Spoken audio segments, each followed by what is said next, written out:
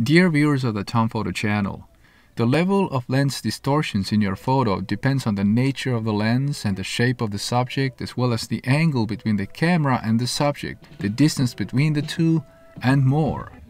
The wider your lens, the closer you are to your subject, and the less perpendicular you are to your subject, the more lens distortions you will see. When shooting JPEG, the camera will automatically correct some of the problems, but with the RAW files, it will all be up to your skill set. Today I'm talking about removing lens distortions using GIMP. I have produced a similar video in the past, but today I'm taking it a step further and trying to solve an even more complicated case for you. Here's an indoor photo that has some serious problems. You see a significant barrel effect.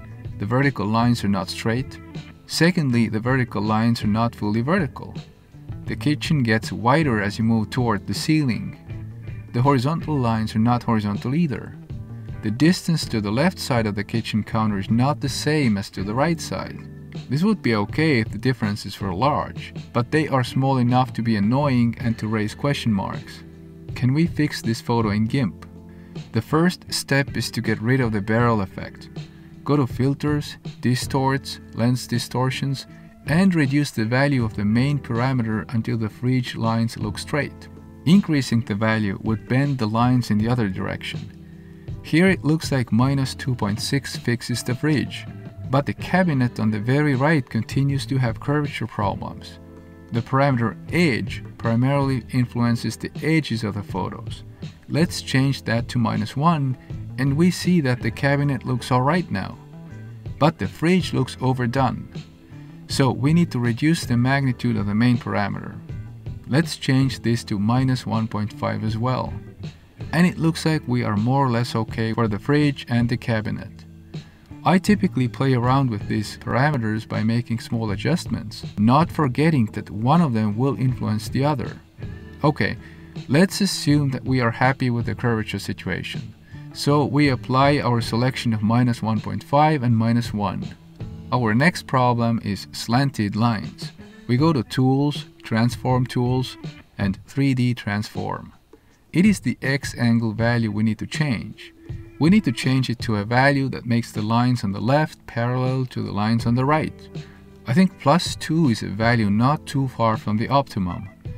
Now that this is done, we additionally need to turn the image to the right because it's currently leaning too far to the left. It is the z parameter that does that. When we change it to about minus 1.3, we get the wall lines pointing in the up direction. Even after all of this, the photo is not looking good. The ceiling lines high up are not perpendicular to the viewer. We can try to fix that by bringing the left side of the kitchen closer to us. This is the Y parameter.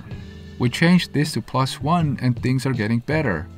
Note that we cannot do more than plus 1 because the kitchen counter will start to turn the wrong way. So if we go with the parameter settings of 2, 1 and minus 1.3, we are making this kitchen look so much nicer. At this point, I like to draw a selection rectangle to overlay the lines to see how much we deviate from the ideal solution. The counter is an A. The ceiling is a bit curved, so I'd say it's a B. The back wall on the left is an A.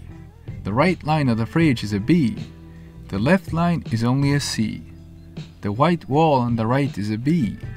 The rightmost line of the cabinet is an A. Let's crop the image to better see what we have done.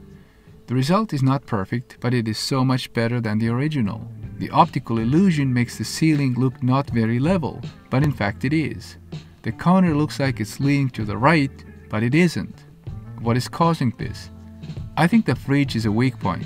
We could have worked it a little more, but then the cabinet on the right would have suffered. Some of it is about making compromises. To make this photo a bit easier on the eye, I recommend cutting the fridge off a bit more. Let's see what that does. I think it increases the quality of the overall image.